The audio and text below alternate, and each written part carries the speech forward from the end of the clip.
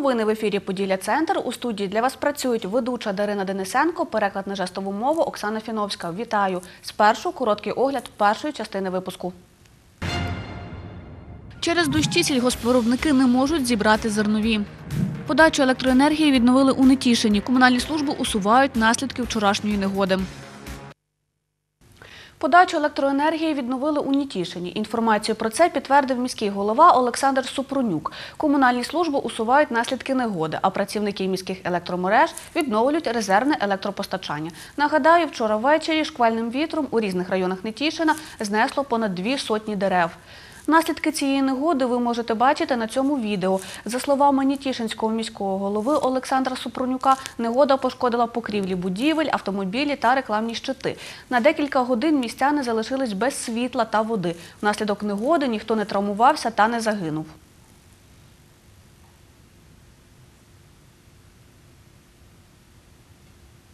Є відновлено практично по всьому місту і по Стоїчській теж. Зараз міські електромережі займаються відновленням резервного постачання дерев. Зараз виділяються дерева, повалені, обстежуються дерева, які е, пошкоджені на предмет можливості відновлення їх, щоб ну скажімо, спасти ці дерева. Хочемо і проводяться заходи по е, скажімо, відновленню життєдіяльності міста. Захисник Донецького аеропорту Володимир Откідич помер у Львівському військовому шпиталі. Про це повідомила координатор Центру допомоги учасникам АТО в області Наталія Дзекар. Боєць родом із Кам'янця-Подільського перебував з 13 липня у шпиталі після ДТП. Як нам стало відомо, тіло загиблого в зоні операції Об'єднаних сил Богдана Блінчука везуть до Кам'янця-Подільського. Цю інформацію нам підтвердив мер міста Михайло Сімашкевич. Нагадаю, 35-річний старший солдат Богдан Блінчук служив у 48-й окремій механізованій бригаді. Про обставини його смерті нічого не відомо. Прощатимуться із військовослужбовцем завтра в міському будинку офіцерів, повідомив Михайло Сімашкевич.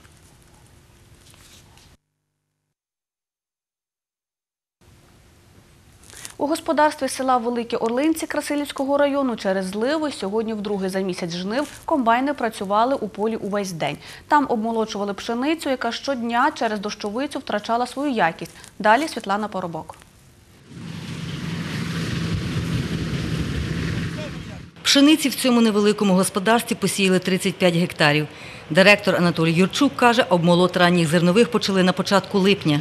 І за календарний місяць сьогодні другий день без опадів. З 2000 року я працюю на землі, але ще таких погодних умов, як в цьому році, не було. Навірно, день, якщо був такий погоди, що можна було працювати цілий день, то було дуже добре. А так на годинку на дві вискочили і дощ. На годинку на дві виїхали тільки в поле і зразу назад треба їхати, тому що ну, не можна працювати. Дощ пішов, все не можна. Озимі наперекір погоді тут домолочують. Під пшеницею залишився клин у кілька гектарів, який до вечора комбайнери закінчать молотити. Урожайність пшениці в цьому господарстві в селі Великі Орлинці Красилівського району вища від середнього в області до 70 центрів з гектара. Проте якість зерна низька. Через надмірну вологість зерно втрачає клітковину. Спочатку був другий клас, потім третій. А зараз під кінець мене вже безкласна пшениця. Що якість зерна через затяжну дощовицю знизилася, підтвердила начальник відділу рослинництва Департаменту агропромислового розвитку обласної державної адміністрації Ванда Сердюк. Постійні дощі е, вимивають е, клійковину зерна і е, з чим знижують клас, е, е, ну, клас самої пшениці. Якщо в минулому році в нас відношення між продовольчим зерном і фуражним зерном складалося десь в межах 30-70%, то в цьому році це відношення 50 на 50. Станом на 31 липня в області обмолотили ранніх зернових на 42% площ, пшениці майже на 60%. Середня урожайність пшениці в області 57 центнерів з гектара і намолотили її на сьогодні 687 тисяч тонн. Про це каже Ванда Сердюк. Скільки з цього зерна вдасться зберегти, залежить від ретельності просушування вологого збіжжя. Товаровиробники мають понести ще певні затрати на досушку цього зерна.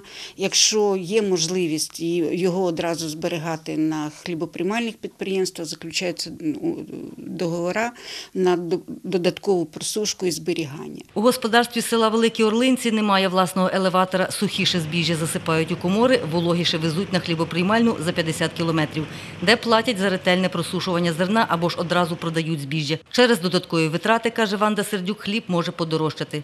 Воно буде дорожче, рентабельність його впаде, але разом з тим це єдина можливість взагалі не, нічого не втратити від збирання е, урожаю. Світлана Поробок, Віктор Кривий, Олександр Горішевський. Новини Поділля Центр. Ви дивитесь підсумковий випуск новин. Далі коротко про таке. У Летичівському районі без згоди жителів села Подільське почали різати тополь вздовж дороги. Підготовка українських стрибунів до чемпіонату Європи з легкої атлетики триває у Хмельницькому. На вимогу жителів Подільського Летичівського району припинено вирізку тополь уздовж дороги, що веде до села від автотраси, яка сполучає Хмельницький та Летичів. Дерева почали спилювати перед минулими вихідними, кажуть після звернення сільради. 28 липня близько двох десятків селян Подільського вийшли до лісосмуги, аби перешкодити вирубці тополь. Мотивують тим, що ніхто не питав дозволу громади на такі дії. Детальніше Тетяна Ворожцова.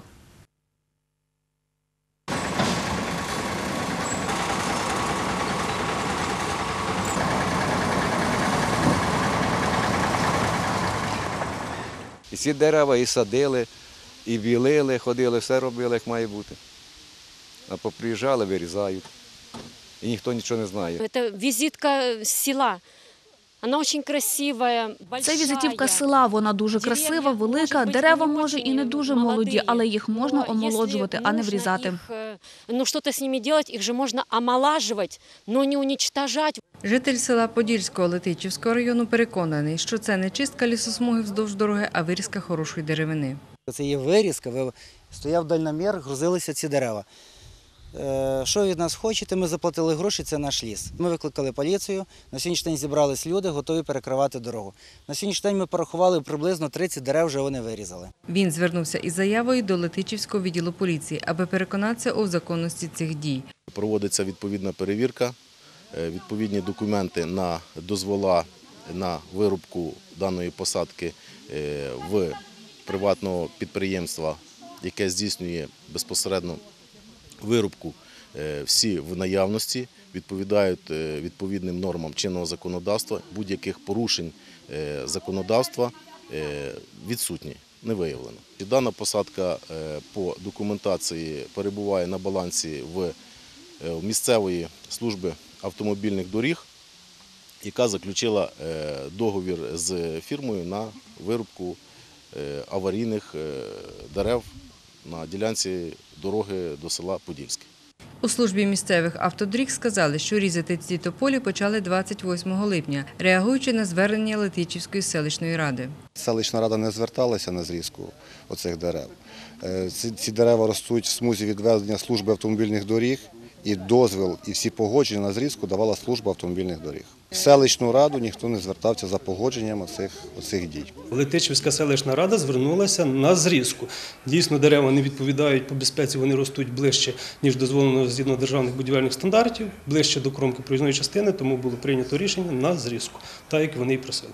Ми направили комісію нашого підприємства, в числі лісника, е, інженера е, відділу якості технічного контролю. Обстежили дану ділянку, склали акт е, обстеження і встановили, що дійсно дерева не відповідають безпеці дорожнього руху, порушують державні стандарти України, а тому видали лісорубний квиток е, для зрізки даних дерев. До перевірки долучились фахівці Державної екологічної інспекції у Хмельницькій області.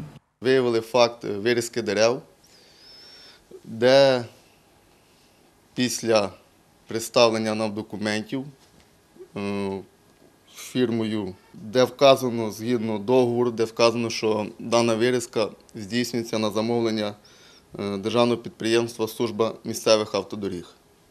І виписаний лісорубочний квиток на дану рубку. Ну, в ході обстеження ми заміряли пні, і в подальшому буде спрямований запит до надання служби місцевих доріг щодо обґрунтування матеріалів доцільності проведення даної рубки. Сьогодні роботи призупинені. Про це нам повідомив директор державного підприємства Служба місцевих автодоріг Сергій Матус. Каже, до з'ясування всіх обставин цієї ситуації. Тетяна Ворожцова, Віктор Кривий. Новини Поділля Центр. Дощі на Хмельниччині припиняться 1 серпня. Про це повідомила завідувачка сектору метеорологічних прогнозів обласного центру Люся Ковалишина. За її словами, останній місяць літа буде теплим, але не спекотним. За даними відділу Українського гідрометцентру по прогнозуванню довгострокових прогнозів, серпень місяць е, очікується ну, приблизно е, не гірше липня, може навіть краще. Температура буде е, літньою, досить не спекотною, а жаркуватою. Е, Десь в середині місяця будуть декілька днів з негодою, це десь 3-4 дні з дощиками, але дощі, хоча в цей період, починаючи навіть з перших чисел, хоча й будуть йти, але не дуже рясними. А вже в самі останні дні серпня ми відчуємо подих осені.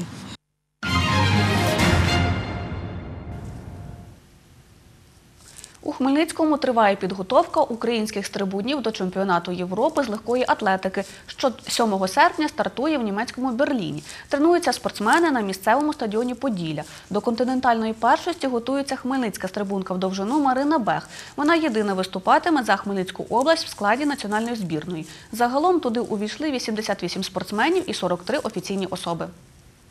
Звичайно, про суперників всіх своїх ми знаємо, тому що все-таки є європейська таблиця рейтингу, в якій е, повністю є всі результати. І цього року в нас е, на європейській довжині, скажімо так, результати достатньо високі. Певно, е, такого рейтингу давно вже не було. Тому конкуренція буде висока і дуже насичена. Для того, щоб поборотися за високі місця, потрібно буде показувати дійсно найкращі результати своєї кар'єри. Це, скажімо так, вінець сезону. Це те, над чим працювали весь сезон. Це самі головні змагання, які є. І за престижністю, і взагалі. Це дійсно змагання найвищого гатунку. На цьому відео ви бачите, як на Хмельницькому стадіоні Поділля до континентальної першості готується київська стрибунка в довжину Крістіна Гришутіна і стрибун у висоту з Херсонщини Андрій Проценко.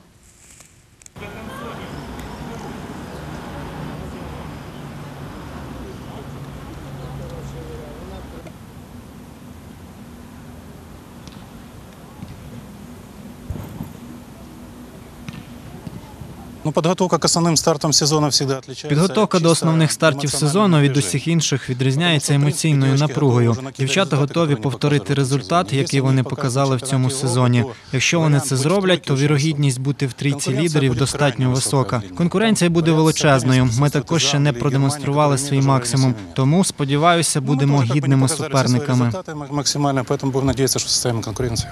Хочеться, звісно ж, медаль.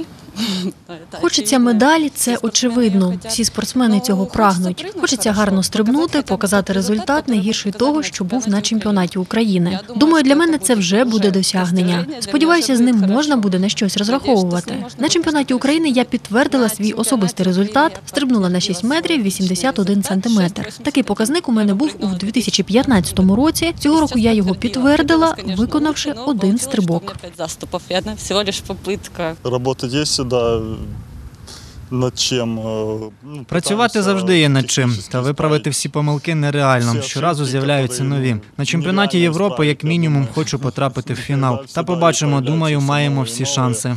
Конечно, результат, ну, минимум попадания в финал хотим. Там будет видно, там, ну, результат позволяет бороться за медали, так что шансы есть хорошие. Трошки нас переслідували травми, але на даний момент е, так, щоб щось так е, було таке, немає. Е, Хронічна стопа це невиліковна, це професійне. Трошки спина тримаємо в тонусі, так контролюємо. І основне в підготовці зараз звертаємо увагу на техніку розбігу, працюємо над швидкісно-силовими якостями. Це була остання інформація випуску. Більше ви можете дізнатись на нашому офіційному сайті та на сторінці у Фейсбук. Дякуємо, що залишаєтесь з нами.